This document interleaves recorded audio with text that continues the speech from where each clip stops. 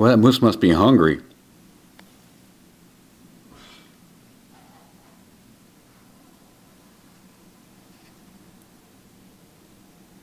He's a young one.